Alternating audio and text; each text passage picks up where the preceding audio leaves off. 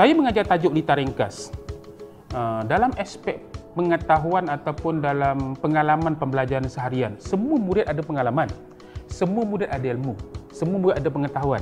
Cuma yang berbezanya ialah apakah mereka boleh mengaplikasikan pengetahuan mereka itu dalam apa yang mereka belajar. Contoh, mereka tahu buat lampu bicit. Tanpa kita ajar di sekolah pun mungkin mereka ada asas buat lampu bicit. Contoh dalam mata pelajaran kemahiran hidup pun ada asas buat lampu bicit. Tapi apakah kaedah yang mereka gunakan itu betul ataupun tidak? Bagaimana kaedah penyambungan betul atau tidak? Itu yang pertama. Yang keduanya ialah mereka buat dengan alatan-alatan yang mungkin tak sesuai. Tapi hari ini kita berikan mereka alatan yang sesuai. Yang ketiganya, bagaimana menggunakan alatan itu dengan selamat. Ha, jadi kita aturkan pengalaman yang harian yang mereka ada, kita aturkan pengetahuan sedia ada yang mereka ada, kita gabungkan dengan proses kerja dalam kelas mengikut peraturan, menggunakan kemahiran manipulatif dan kemahiran proses sains. Jadi hasil kerja mereka itu uh, digabungkan untuk mendapatkan satu hasil kerja bermutu yang melekat uh, dan mereka faham untuk proses pelajaran yang akan datang.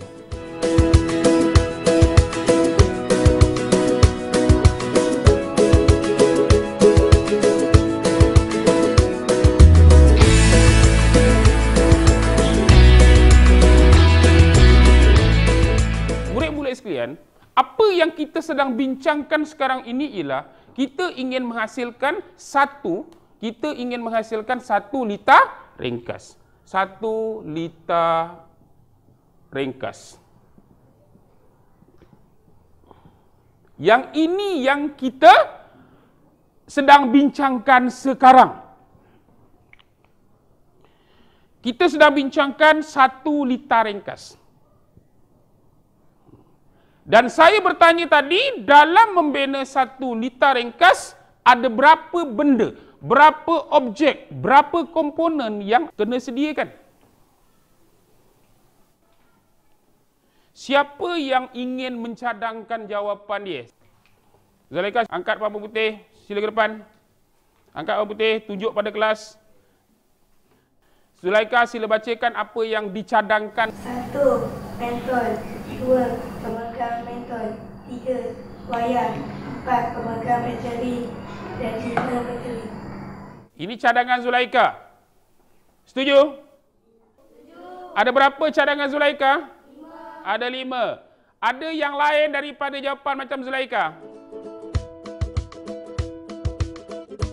Sebenarnya eh, hasil kerja murid hmm, menunjukkan apa yang dia faham. Hasil kerja murid adalah sesuatu yang kita boleh lihat di akhir pembelajaran. Hasil yang ditunjukkan itu menunjukkan sama ada daripada permulaan pengajaran, pertengahan dan sampai ke akhirnya, adakah sama ada dia faham atau tidak apa yang dia belajar. Jika hasilnya itu berbentuk positif, maksudnya dia faham apa yang dia belajar. Jika berbentuk negatif, dia tak faham apa yang dia belajar dan cikgu kena jadi fasilitator untuk mengesan di mana kesilapan yang dia tak faham untuk menghasilkan satu kerja yang sebenar yang dikendaki. Mental, pemegang mental, wire, pemegang bateri dan bateri adalah jawapan daripada Zulaika dan saya ingin beritahu bahawa daripada jawapan yang Zulaika beri ini hanya tiga sahaja yang diterima. Dua lagi tak diterima. Siapa ingin membetulkannya? Niza, okey. Adakah sama dengan ambil uh, jawapan letak dekat depan? Niza. Niza pergi sebelah sana. Mental, wire, pemegang bateri dan bateri. Ini jawapan Niza. Baik, Niza sila duduk. Okey. Baik. Saya terima jawapan Niza mental, saya terima jawapan Niza wire, saya terima jawapan Niza bateri.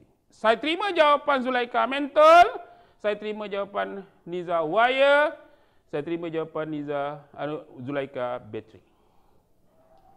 Ada satu lagi yang perlu ada dalam lita. Ada satu lagi yang perlu ada dalam lita. Baik, saya beritahu bahawa untuk menghasilkan lita ringkas kita perlukan berapa? Kita perlukan berapa? Di sini kita dah ada berapa? Tiga. Apa dia? Kita kurang satu lagi. Apa dia Asraf? Apa dia Asraf? Kita perlukan Swiss. Kita perlukan Swiss. Jadi dalam satu liter ringkas, yang pertama sekali kita perlukan mentol. Yang kedua kita perlukan wire. Yang ketiga kita perlukan Swiss. Dan yang keempat kita perlukan sel kering. Empat alat atau empat bahan yang diperlukan dalam pembinaan satu lita ringkas. Dia kena berikan jawapan, dia ada ada perkara-perkara yang ada asas dekat situ, dia tak perlu fokus apa cikgu tanya sebab dekat situ ada soalan. Tapi kalau papan putih tadi, soalan keluar daripada mulut cikgu. Dia kena fokus pertanyaan cikgu. Apa pertanyaan cikgu? Daripada pertanyaan cikgu tu dia kena masukkan dalam fikiran dia. Dan kena tentak dia kena faham dan dia kena keluarkan sebagai jawapan. Jadi dia kena buat tiga perkara dalam satu benda. Satu fokus, kedua faham, tiga tulis jawapan. Ha, jadi itu penggunaan papan putih yang saya selalu gunakan dan di situ kita akan dapat murid akan berikan perempuan 100% sepanjang PNP. Kita dah belajar komponen dia, tempat, kita dah belajar apa yang diperlukan. Sekarang kita nak hasil kalita. Saya sekarang akan berikan kepada semua orang. Semua orang akan dapat mentol. Semua orang akan dapat Swiss. Semua orang akan dapat bateri. Semua orang akan dapat wire. Kita nak sambungkan semua sekali mentol, Swiss, wire dan sel crack ini menjadi satu lita ringkas. Maka tugasan sekarang ini ialah sila lukis pada papan putih macam mana awak nak sambungkan. Di mana awak nak sambungkan? Sebelum kita buat, kita kena tengok dekat mana awak nak sambung. Hasil kerja murid juga menjadi indikator kepada pencapaian objektif guru. Maknanya kalau guru itu dia mengajar dan kemudian dia melihat hasil kerja murid. Contoh kalau kita tengok dalam bentuk yang lain seperti kita beri latihan kita bagi dia 10 soalan. Murid boleh jawab semua 10 soalan dengan betul. Tapi ada murid yang boleh jawab cuma satu soalan saja yang betul. Jadi mesti ada berlaku sesuatu kat situ. Jadi hasil kerja yang ditunjuk itu yang menjadi penanda ataupun uh, penanda aras ataupun KPI kepada diri kita sendiri sama ada uh, objektif kita tercapai atau tidak. Itu itu yang saya menekankan tentang hasil kerja murid dalam saya punya proses PNP. Dah. Okey.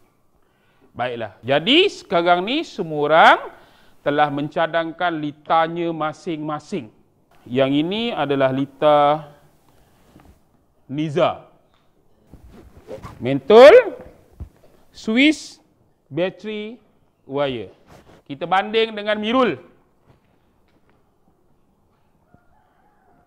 Ini Mirul punya.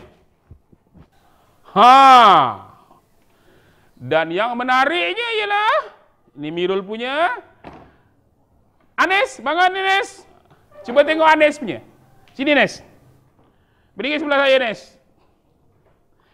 Wan, mesti Wan. Wan sebelah sana. Kita berdiri sebaris. Tunjuk macam ni. Sebaris. Ah, ni Wan punya. Dalam tiap-tiap lita ringkas tu betul. Ini ada mentol, ini ada mentol, ini pun ada mentol. Yang ini ada wire, ni ada wire, ni pun ada wire. Yang ini ada sel kering, ada sel kering, ada sel kering. Sini ada Swiss, ada Swiss, ada Swiss. Cuma kaedah penyambungannya adalah berbeza. Mana sambungan yang betul? Niza, Niza bangun sini.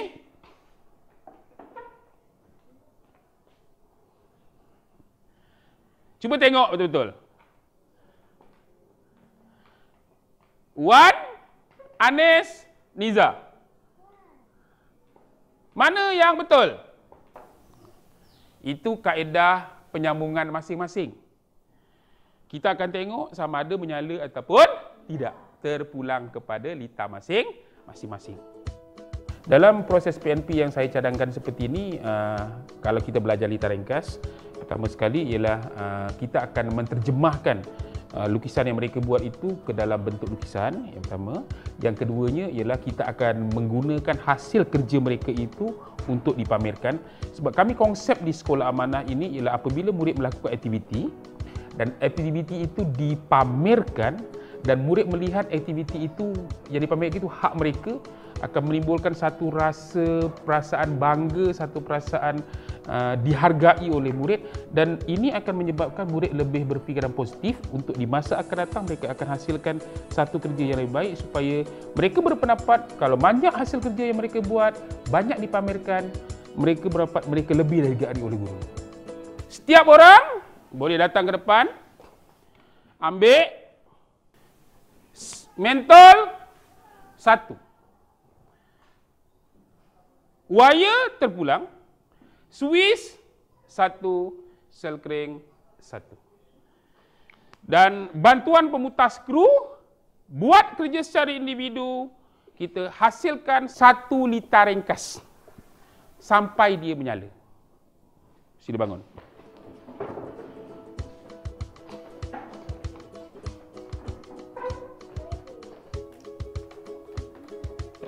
Dah ambil semua komponen, semua bahan-bahan, duduk tempat masing-masing. Terus mulakan sambung litar masing-masing.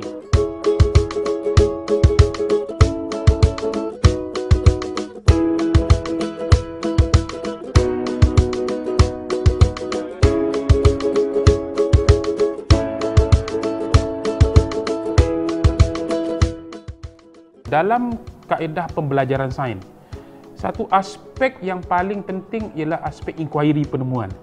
Maknanya murid cuba, murid cuba buat, murid cuba lakukan tanpa apa-apa bimbingan, hanya menggunakan pengetahuan yang lepas, dia menghasilkan sesuatu dan pengalaman itu yang mengajar supaya dia boleh menghasilkan satu kerja itu dengan baik. Jadi teori cuba jaya ini kalau kita praktikkan di mana pengalaman yang ada akan mengekalkan pengalaman ditambah pula dengan ilmu yang baru hasil daripada uh, teori cuba jaya yang mereka laksanakan tadi.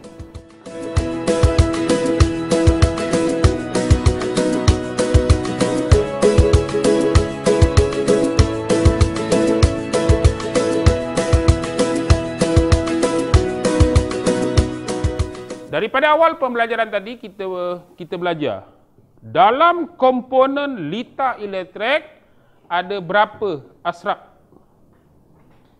Empat. Ada? Empat. Ada berapa kelas? Empat. Jadi apabila kita belajar tentang lita ringkas, pertama kena tahu dalam lita ringkas ada empat komponen. Yang kedua, empat komponen tersebut itu yang kita dah sebutkan tadi dan kawan-kawan awak tu dah menjelaskan apakah yang apakah tugas tiap-tiap komponen dalam lita tersebut. Baik. Sekarang ni tugasan awak ialah tugasan untuk semua orang ialah mengembalikan semua alatan mengembalikan semua alatan yang telah digunakan dalam bahagian masing-masing. Tajuk lita ringkas kita berakhir di sini. Terima kasih kepada semua kerana telah berikan kerjasama pada saya uh, menguruskan semua radas yang telah kita gunakan dalam eksperimen tadi. Okay. Menarik atau tidak PNP, berjaya atau tidak PNP berpunca daripada uh, persediaan guru. Kalau kita merasakan bahawa semua isi kandung ataupun semua huraian sukatan pelajaran telah menyediakan satu tajuk. Dan tajuk-tajuk itu, kita bukan tengok pak tajuk itu pukul 9 kita nak ajar apa, kita tengok tidak. Kita sudah menang tajuk itu uh, lebih ke depan. Dan apabila kita melihat tajuk itu uh, ada aktiviti dan sebenarnya hak menjadikan aktiviti ialah itu hak cikgu dan murid kita kena beri hak untuk belajar menggunakan aktiviti. Kita berada di bidang perguruan, apa pun yang kita lakukan, kita kena sematkan bahawa kita kena bersikap profesional dalam apa jua bidang yang kita buat. Sebab ini tugas kita. Ini tugas kita dan kita tidak boleh menilai diri kita sendiri. Orang yang boleh menilai kita sendiri bukan guru besar, tapi murid.